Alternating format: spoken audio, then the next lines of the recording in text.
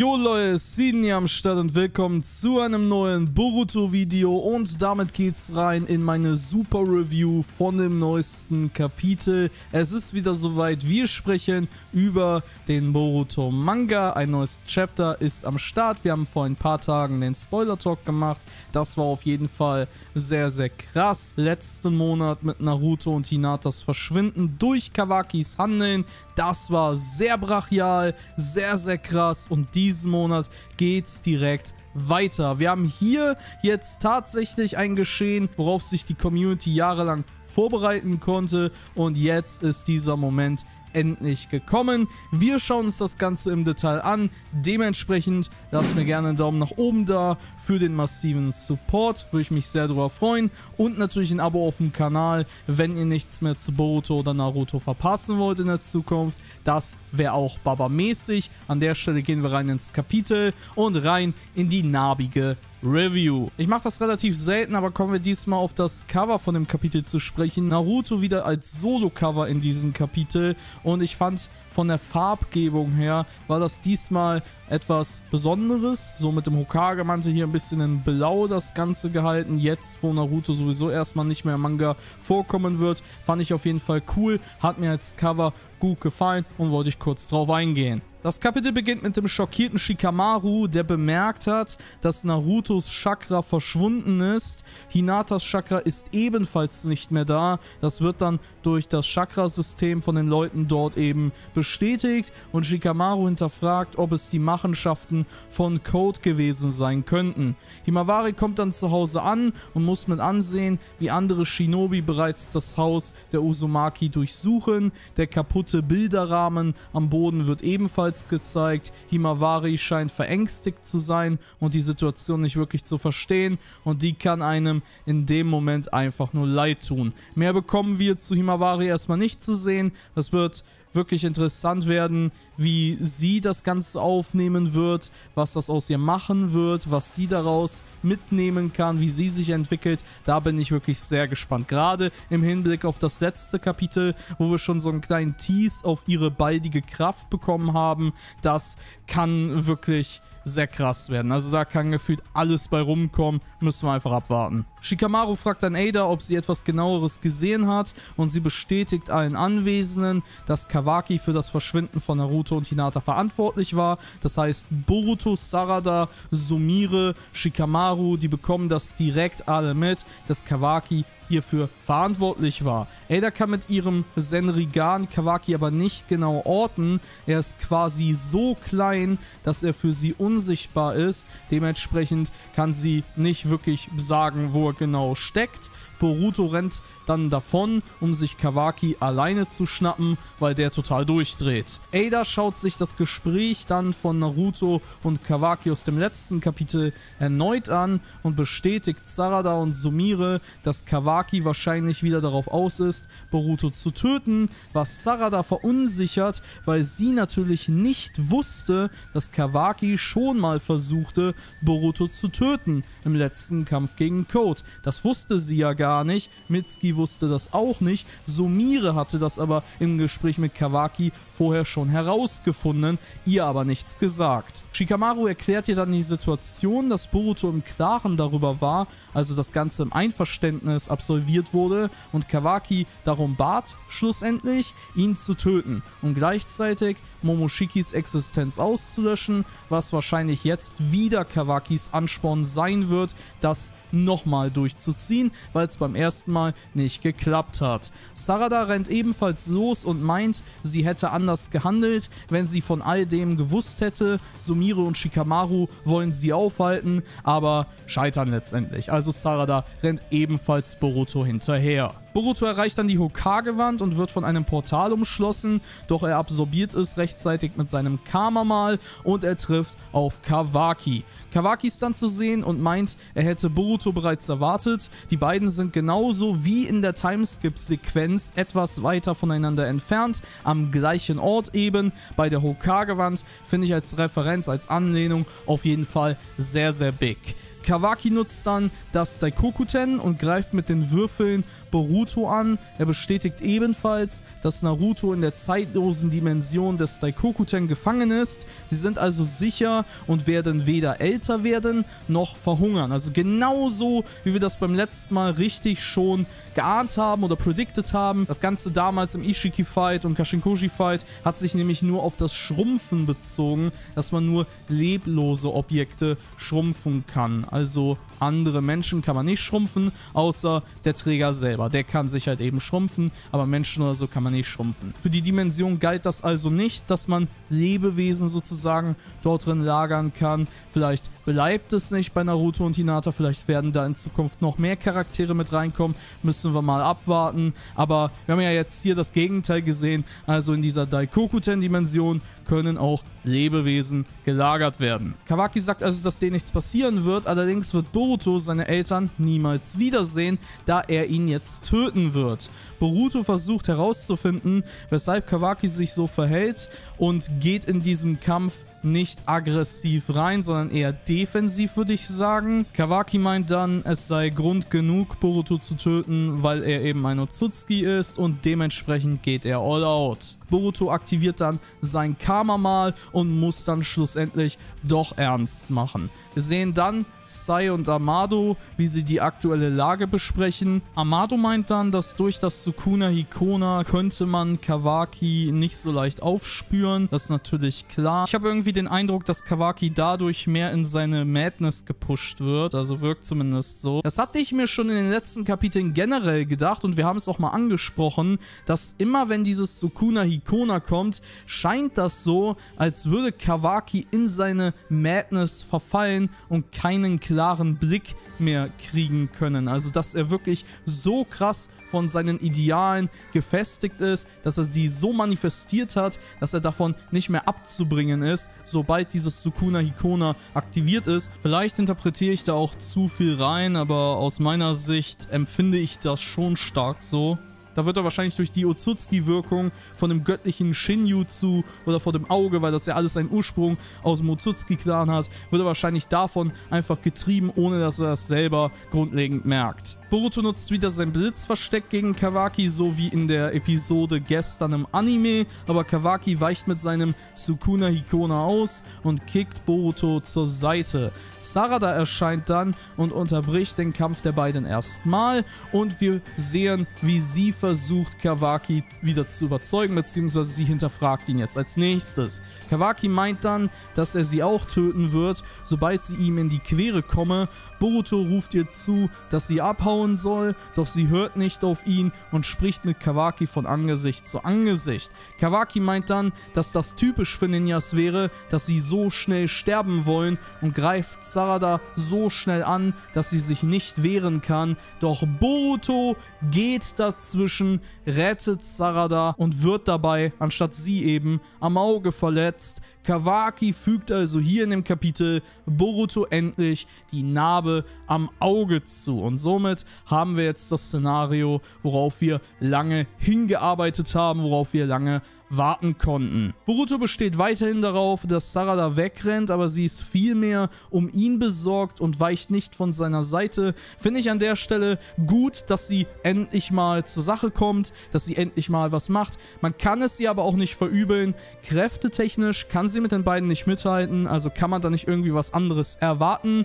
Auf der anderen Seite muss man ebenfalls hinzufügen, dass sie, wenn sie ein anderes Wissen gehabt hätte über diese Situation, hätte sie wahrscheinlich schon vorher etwas gemacht, wie sie selber in diesem Kapitel hier vorher mit Sumire anspricht. Von daher finde ich gut, wie Sarada hier in der Situation eingebracht wurde. Ich finde es gut, wie das so ein bisschen zerspringt, dieses ganze Team 7 Gefühl. Auch wenn Kawaki sich natürlich sehr getrieben durch sein Sukuna Hikona, durch diese Otsutsuki-Kräfte leiten lässt sozusagen und einfach seine Ideale gepusht. Das ist nicht mehr normal. Bevor Kawaki aber irgendwas noch machen kann, erscheinen jetzt plötzlich Shikamaru und Mitsuki und leider auch Konohamaru, aber den wollte ich eigentlich gar nicht erwähnen, bin ich ehrlich. Shikamaru hält Kawaki mit seinen Schattenfesseln fest und Mitsuki packt sich Kawakis Karma-Arm, sodass dieser gar nichts mehr machen kann. Also er kann weder die Schattenfesseln von Shikamaru dann absorbieren, weil Mitsuki den Arm festhält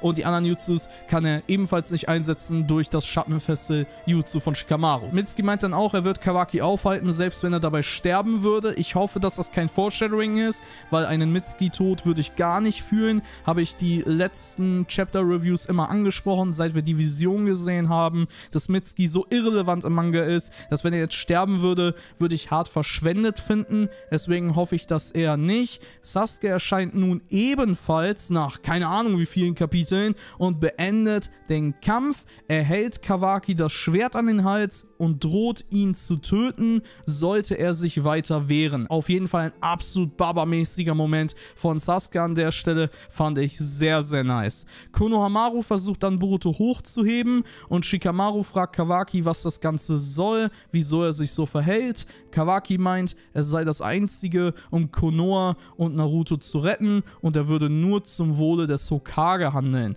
Er brauche Shikamarus Zustimmung dafür nicht und Shikamaru erkennt, dass Kawaki nicht mehr zu retten sei. Borutos rechtes Auge öffnet sich dann hier langsam und enthüllt das Byakugan von Momoshiki, was dementsprechend natürlich auch verdeutlichen soll, dass dieser nun wieder die Kontrolle über Borutos Körper erlangen konnte. Er richtet seine Hand auf Shikamarus Schatten und tatsächlich hilft der Kawaki jetzt hier. Er absorbiert den Schatten, damit Kawaki abhauen kann. Kawaki entkommt dann mit dem Sukuna Hikona und entfernt sich auf den Hokage-Kopf von Naruto, auch nette Anlehnung auf jeden Fall, außerhalb der Gefahrenzone der anderen. Momoshiki verhilft Kawaki zur Flucht dementsprechend und meint, er solle fliehen, wenn er ihn besiegen wollen würde. Doch warum er ihm genau hilft, verrät Momoshiki nicht wirklich. Mitsuki versucht Kawaki zu schnappen, aber Kawaki entkommt dann. Shikamaru meint, dass es nicht so schwierig sein wird, Kawaki zu schnappen, dass seine Chakra-Reserven bald ausgehen sollten. Er wird sich also nicht ewig schrumpfen können, dementsprechend werden die Shinobi ihn finden. Den Ionen wird befohlen, Kawaki hinterherzurennen und diesen zu schnappen.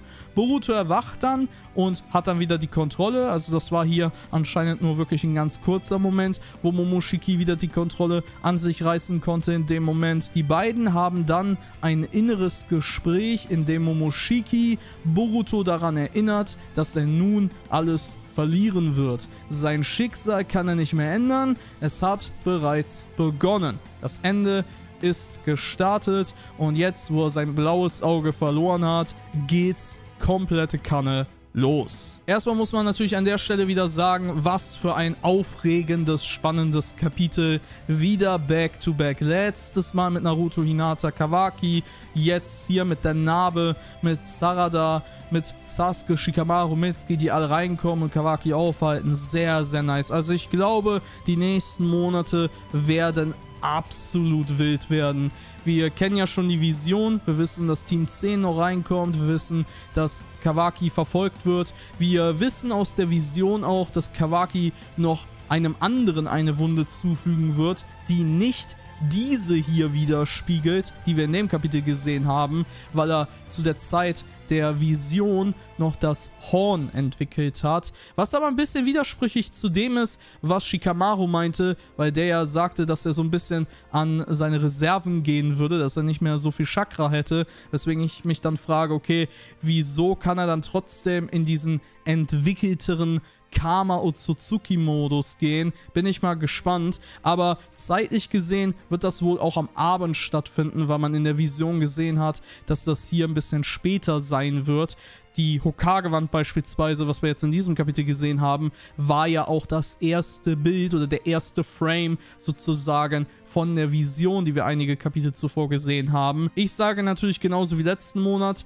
absolute Deathlegs für Shikamaru und Sasuke, 100%. Konohamaru weiß ich nicht mal, warum er mitgekommen ist. Das Einzige, was der macht, ist dumm aussehen und Boruto hochheben, so gefühlt. Also von mir aus kann Kawaki den wirklich killen. Wäre nicht mal ein großartiger Verlust an der Stelle. Aber natürlich klar, Sasuke, Shikamaru, definitive Todesflag über ihren Köpfen, 100%. Sarada ist hier jetzt mit involviert. Shikadai, also Team 10, wird auch mit involviert werden aufgrund der Vision. Die sind alle vor Ort, also von daher macht es schon Sinn. Wenn man Sasuke tötet, kann Sarada ihr Mangekyo bekommen, in Verbindung damit, dass Boruto sich für sie geopfert hat, im Sinne mit dem Auge halt eben. Und Shikadai kann auch übelsten Hasskick kriegen, weil Shikamaru vielleicht sterben könnte. Also, da hat man auf jeden Fall einiges, womit man arbeiten kann. Einen Mitsuki-Tod würde ich gar nicht fühlen, aber er könnte auch irgendwie verletzt werden oder sowas. Dann wird es natürlich interessant werden, ob Ada und Damon sich einmischen werden oder nicht. Bei Ada habe ich den Eindruck, dass sie nur zugucken wird und schauen wird, wie sich das alles so entwickelt und dann wird sie sowieso auf der Seite von Kawaki sein. Bei Daimon habe ich so zwei Richtungen, sag ich mal. Zum einen kann ich mir gut vorstellen, dass er einfach je nach Lust und Laune sich einfach auf irgendeine Seite schlägt, weil er einfach mit den Stärksten mithalten möchte. Oder er führt das ja sowieso an, aber er will halt einfach mit dabei sein, wenn es in die Kämpfe geht, so mäßig. Also den Eindruck hat er bisher gemacht. Oder er wird sich tatsächlich auf die Seite von Himawari stellen, weil er Interesse an ihr hat. Jetzt nicht so Love-mäßig, so Pairing-mäßig, sondern einfach wegen den Kräften. Dass er nicht möchte, dass diese Kraft irgendwie verloren geht oder so ein Kram. Da könnte ich mir auf jeden Fall einiges vorstellen. Also Daimon wird interessant werden. Natürlich ist er der krasseste aktuell in diesen ganzen Verhältnissen von den aktiven Charakteren, sag ich mal. Shiba ist ja nicht aktiv. Von daher ist er der krasseste. Da wird sehr interessant sein, ob er sich zurückhält, ob er aktiv im Geschehen mit dabei ist, auf wessen Seite er steht, ob er auf der gleichen Seite steht wie seine Schwester und Kawaki, weil das sollte klar sein, dass Ada mit Kawaki gemeinsame Sachen machen wird. Das sollte klar sein, die ist in den verliebt, die hat keinen Grund gegen Kawaki zu handeln. Und dann wird es natürlich nochmal richtig, richtig krass werden, wenn Code jetzt die Situation nutzen würde und mit der Yubi-Armee reinkommt. Weil jetzt ist totales Chaos.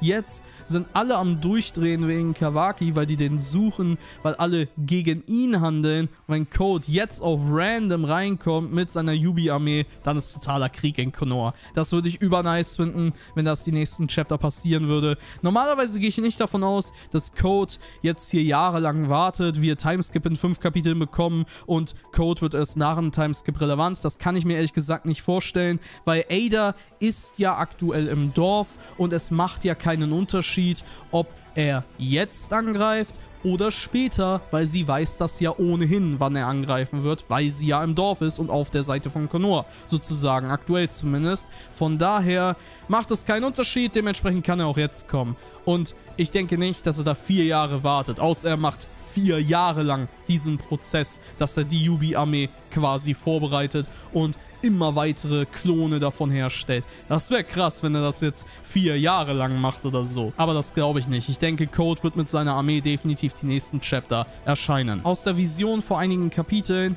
mit der Zukunft und so weiter, können wir ja entnehmen, dass die Erwachsenen da gar nicht zur Stelle sind. Das heißt, Sarada, Mitsuki, Team 10, die werden ja wahrscheinlich die nächsten Kapitel Kawaki irgendwie lokalisieren oder ausmachen können, dem hinterherrennen. Mitsuki geht in Sage-Mode, rastet gegen Kawaki aus und Kawaki verletzt irgendwen. Das wird wahrscheinlich die nächsten Kapitel passieren. Die Erwachsenen waren in der Vision nicht zu sehen, deswegen denke ich nicht, dass die mit dabei sein werden, wenn es Richtung Kawaki die nächsten Kapitel geht. Deswegen denke ich, dass die Erwachsenen mit jemand anderem beschäftigt sein werden und das wird dann vermutlich Code sein, vermutlich Burushiki sein. Da kann man jetzt mutmaßen. Wie gesagt, zeitlich muss hier eine kleine Spanne kommen, weil das hier in der Vision am Abend passiert und das, was wir hier in dem jetzigen Kapitel gesehen haben, nicht am Abend passiert. Von daher, ja, bin ich sehr gespannt, wie die nächsten Chapter aussehen werden. Das kann eine absolute Katastrophe werden, im positiven Sinne, also absolutes Chaos einfach,